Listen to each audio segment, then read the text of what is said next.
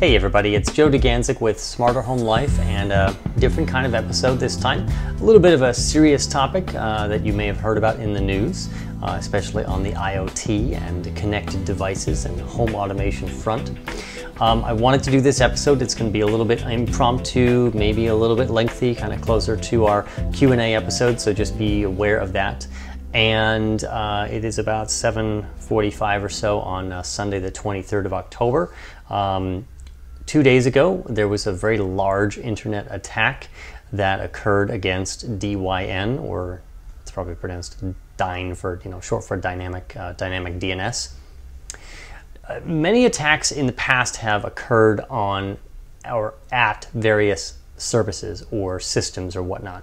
This was not the first, but a very large attack on part of the internet infrastructure. DYN is a DNS company. They simply um, are part of the internet infrastructure that translates names to numbers. Back in the early days of the internet, everything was an IP address, a numerical address, and if you didn't know it, you couldn't go anywhere. But that wasn't going to hold up and do well for mass adoption. So DNS allows us to type in google.com and get to the ad that address. It also allows um, websites to change IPs and not change names, and that kind of makes that a, an easier process. So because the DNS service was down, computers couldn't translate to the numbers to figure out where to go. So therefore, it appeared that the services such as Twitter, Spotify, uh, Netflix were down when really they were just inaccessible. And you could change your DNS entry to something else, but most people don't know how to do that. So the other part of this episode, uh, aside from sort of reporting on that, which has now been widely reported, um, is that I don't want any of this information to scare you. I just want to give you the information and give you the best tips on how to use it. So on Friday, we knew that this attack was occurring. It occurred, it was eventually filtered out, and uh, they took care of it. We didn't know where it came from. Uh, we still don't really know where it came from absolutely, but we know that it was a, a botnet, sounds really scary, right? A digital army of connected devices, right? Now, they didn't say any brands, so I'm going to hold this up, but I'm not going to assume, we're not assuming it came from something like a Nest, but connected thermostats, DVRs, baby monitors, webcams, all of these things could have been um, used in the attack. And that those were the categories that were um, talked about in the various news um, articles that I was looking at earlier today. Financial Times and uh, Fast Company and so forth widely reported on this. So I have to my left a bunch of Internet of Things devices, none of which are specifically culpable or, uh, or were specified that they were part of the attack. Um, but, and it doesn't mean that they couldn't be used in the future. But let's get kind of to the meat of the story. So it used to be, you know, you used to hear about malware and PCs being used as big networked, you know, botnets um, to attack various um, services or people or whatnot. And that's hasn't gone away entirely, but the the software, security software has gotten better so that less and less people have um, Windows 98 running um, and and have an operating system running that is much more vulnerable and don't have any kind of um, security software to protect them. So less of an issue, not completely solved at this point. But now we have all these devices, including things like iPhones and Android devices. Android is generally thought of as to be a little bit less secure or at least a more open playground than the um, than a non-jailbroken iOS device. Um, but whatever camp you're in, you know you have to take your own precautions to make sure that you don't become uh, a victim of some sort of hacking incident and obviously through a lot of the WikiLeaks uh, releases over the years uh, and Edward Snowden, we know that there's there's ways of anyone can get into any device. And let me say that because we have to sort of say that as a, a general kind of disclaimer. Anything, almost anything that you connect to the internet is generally thought of as being vulnerable to some sort of access, whether someone's going to access it to just say hello to the device, or they're going to try to gain access to it for some malicious purpose. If you physically connect it to a network or wirelessly connected to a network, and that's connected to the internet, it's potentially vulnerable. So let's just say that. So if you use good security, practices, it doesn't mean that you're completely safe.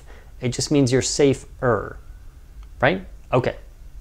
So, uh, moving on, there were a lot of warnings over the years from researchers. They said all of these new Internet of Things devices are proliferating. You know, they're they're growing like tribbles from Star Trek, right? And they're going to be used in attacks in the future. Now we've had our first major one. Are there going to be more of them in the future?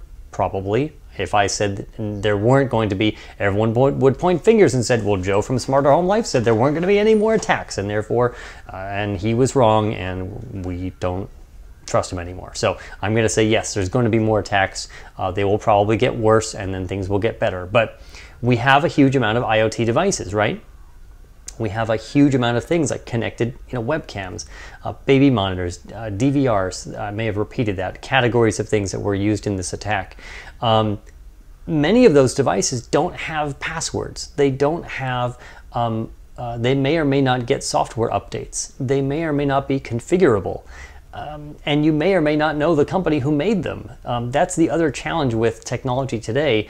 It, it's not, it's not I don't want to say it's easy because it's not easy to make technology, but it's easier for uh, many different companies, especially overseas, to make less expensive devices that look and operate like the ones that we um, we know and, and, love from major manufacturers. And people naturally will be um, looking for great deals, like coming up on Black Friday um, and the holiday shopping season, and they'll say, "Oh, I can buy this for 20 bucks instead of 40 bucks. I'll get that."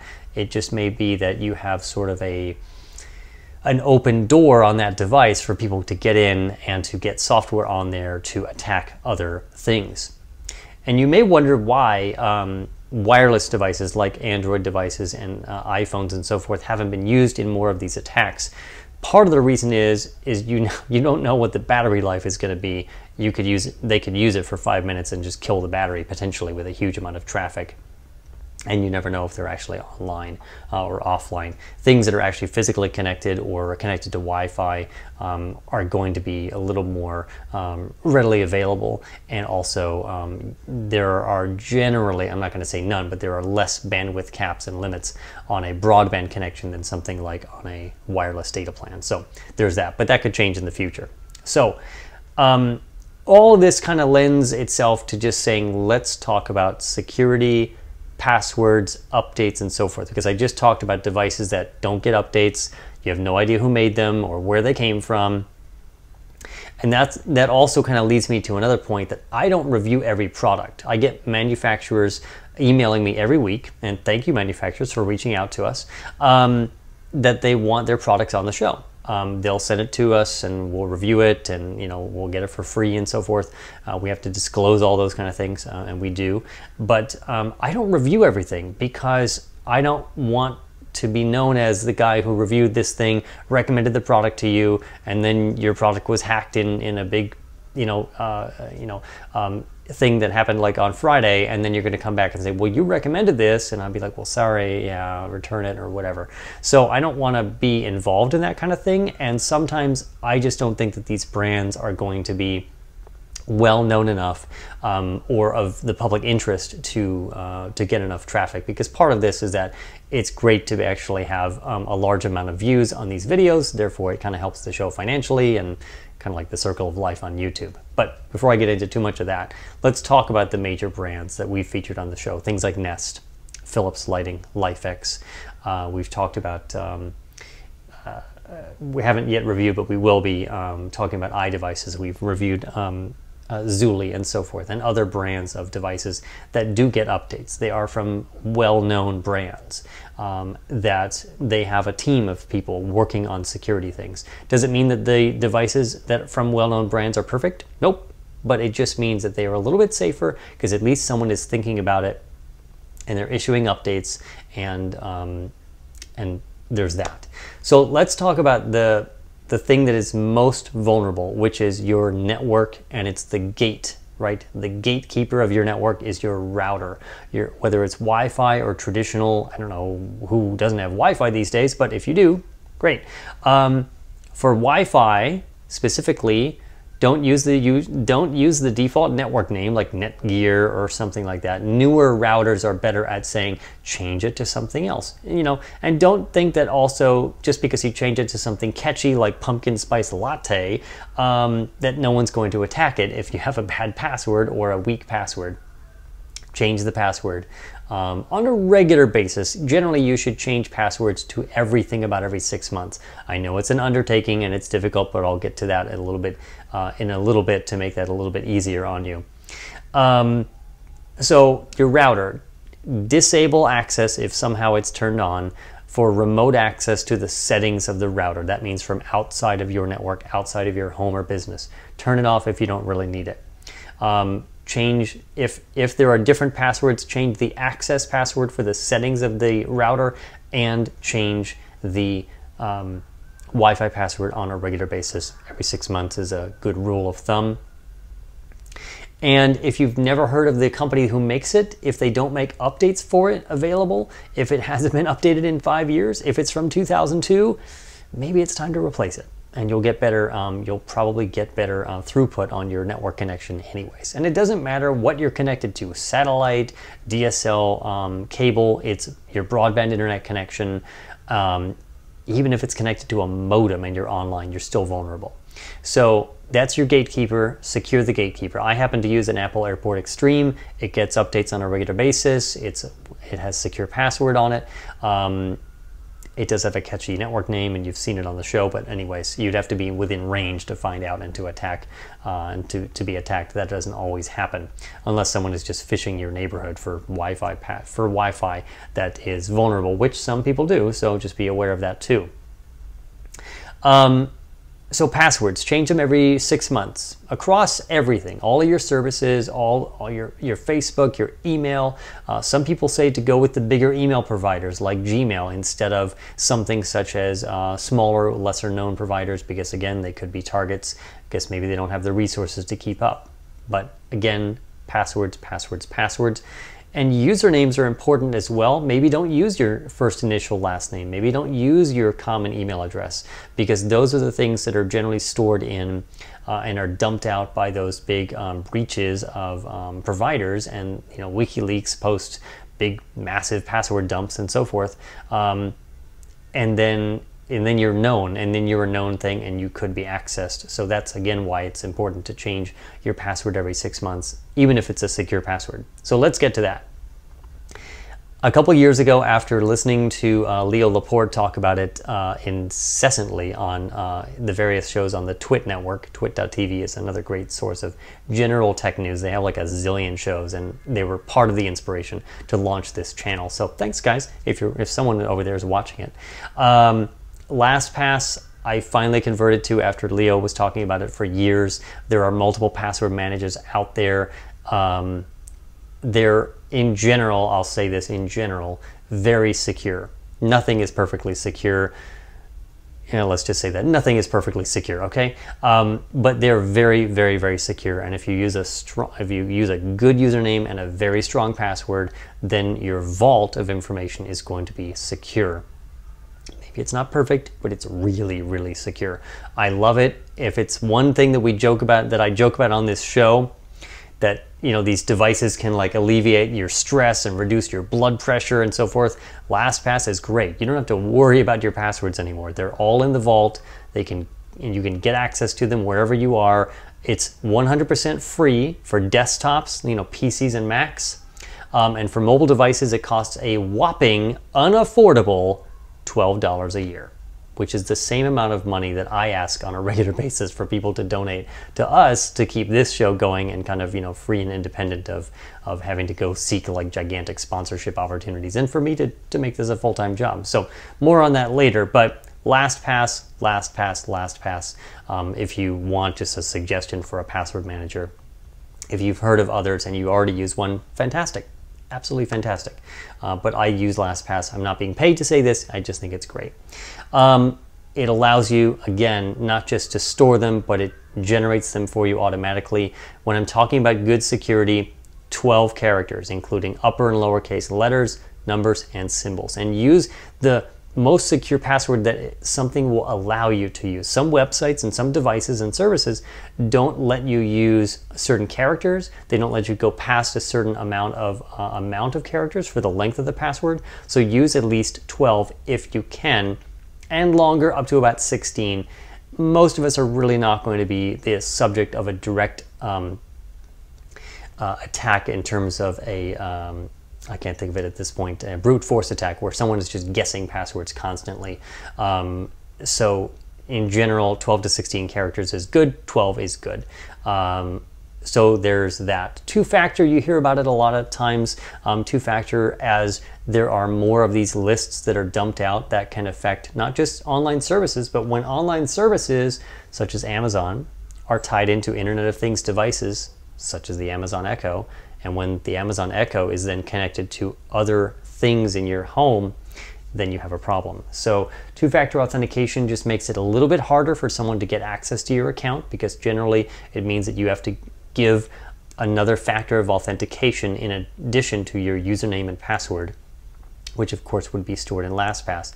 LastPass itself has two-factor so that when you get in and log into your account in LastPass, you've got to authenticate yourself as well and if you're thinking, wow, this is just way too much information, this is way too much security, there's levels. Start with changing your passwords every six months. Start with using a last, um, something like a LastPass or a 1Password.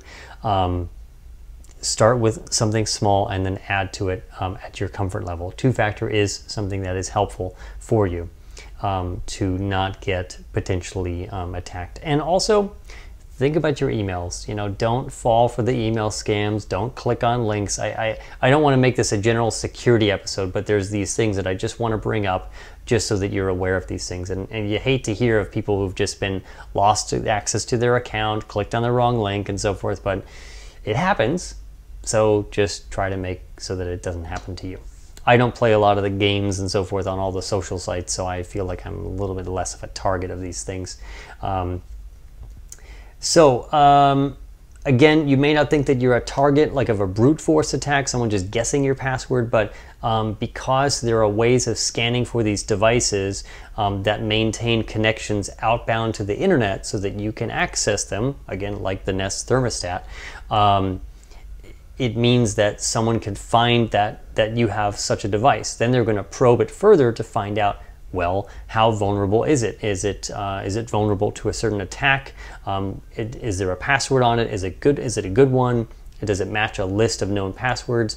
They're going to run through all these permutations. So the, the better that you can make your security uh, with a good strong password, a good username, and making sure the device stays updated, you know, the better for you. Does it absolutely mean that you're safe? As I said in the beginning, no, but it does mean that you're less vulnerable.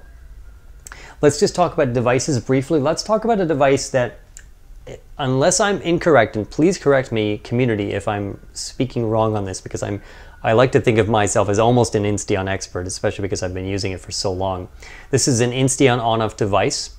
If this is connected to the internet via the Insteon hub or something else like the software that I have running on the Mac, Indigo, which is connected to the internet but is using strong security, um, and a strong password and a, and a, and a username that's not known to any list out there, and it's not it's not a usual usual username that I use either. Um, if this was connected to something that generated a lot of heat or used up a lot of power, and it was turned on by a malicious person out there, then I'm paying a lot for my power bill, or my place could burn down because you know what if that thing that turns on and it generates a lot of heat falls down or it's next to some sort of um, cloth or a couch or a, a, carpet, something like that that could start a fire. That's where this stuff starts to get scary. But by itself, Insteon is not connected to the network. In fact, you can create an entire home automation network of Insteon devices with no hub at all. It would be a little bit difficult to do that, but you can do it. And you can also have an Insteon hub and cut it off from the internet. You don't have to have it on the internet necessarily, or you can have a controller that doesn't sit on the internet. That's also possible if you don't want that access. Um, there's multiple ways of securing that stuff. We'll go into it in other episodes because I don't want to make this episode a half an hour long. So that's just something to think of. This is a device that doesn't speak to the internet, but it needs a hub to get it access to the internet. Again, if that hub and that account that connects it to the internet is not secure, it's vulnerable, the hub hasn't been updated in months or years, then you have a potential problem. Same thing with um, Philips Hue lighting. We talk a lot about Philips Hue stuff, especially recently, including just yesterday. Was it just yesterday? I feel like the little um, uh, tiny little very that goes that travels apparently um, the little uh, hue motion sensor they someone potentially I guess this is not connected to the internet it's connected via Zigbee to your Philips Hue bridge but somehow what if someone found a way to get through and reprogram it to not sense your motion or to do the opposite of something. probably not going to do much with lighting because this, you know, the low energy lighting these days really doesn't do much. It doesn't get that hot. So probably not a big problem, but still you don't want people doing stuff to your devices that they shouldn't be doing. So again, Philips Hue, um, it's regularly updated. It's updated actually very often. I feel like it's the bridge software gets updated once a week sometimes. Um, Philips is a known brand. They've been around for a very long time. Nest now owned by Google, Amazon. Um, one uh, light that we reviewed last year, just because I thought it was cool and it might be actually in, of interest to the to the uh, viewers of the channel, was Revogi, um, a company from overseas, not well known, but they do make they do make some good products. This is Bluetooth only, and it only connects to your phone. You can't connect it to anything else at this point. Um, is it 100% safe? No, but it's less of a target. It's less, it's more difficult to do something and reprogram this because they have to get into your phone first and then get access to Bluetooth. And right now, there's no power either. So, not completely invulnerable, but anything, like I said, anything connected to the internet could be, could be accessed and possibly vulnerable. Something else that's really vulnerable, right? I have a smart, I have the August smart lock. I have it connected to the internet via the August Connect. Now, has someone maliciously opened my door? It would be funny if it actually did on the show, but anyways, I'm sure it'll happen once I upload this episode. Someone will be like, I found you. Um, it's connected to the internet. It's secured with a strong password and a user and a good username um, that is changed on a regular basis. The lock itself is Bluetooth only, not impossible to hack, but not directly connected to the internet. Let's just say that. Is there a theme here? Change your passwords every six months. Use a password manager. Use two-factor authentication if possible on various sites. Um, secure your, your desktops, you know, Macs and PCs can still be vulnerable. As vulnerable, no.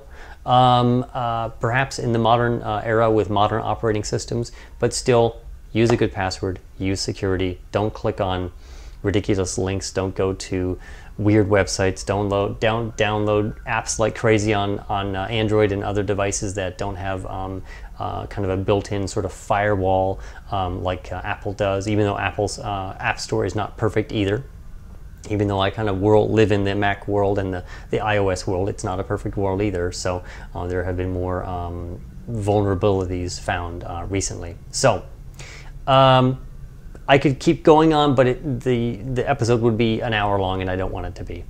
Security, security, security. Not to scare you, just take the time and look at devices and find out if they can be updated before you even buy them. And take an inventory of what you have in your home right now. And can it be updated? When was the last time it was updated? Is it capable of having a password or is it just reliant on just being on your network and having a password tied in to some account like um, like a pass-through type thing like like August the device doesn't have a password but the service has a password and the service can't get to the device without the password you know what I mean um, that's all I'm gonna say uh, because we're running out of time I think um, to keep this episode short. Um, if you like this type of content, if you've made it through all the way through, congratulations.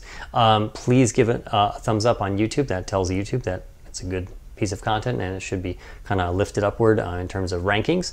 Um, subscribe if you're new to Smarter Home Life. Welcome aboard. Um, I like to do these episodes as well. They're a little bit longer winded than the more produced episodes, um, but um, I like to get this information out on a timely manner. So welcome to the Smarter Home Life family. If you love this kind of thing, you want um, you literally want this to continue for a long time to come uh, and help this become a truly um, full-time career for me personally. I hate to say it, you know, supporting me, um, but the show does help to support me. Literally, I this is part of how I make a living.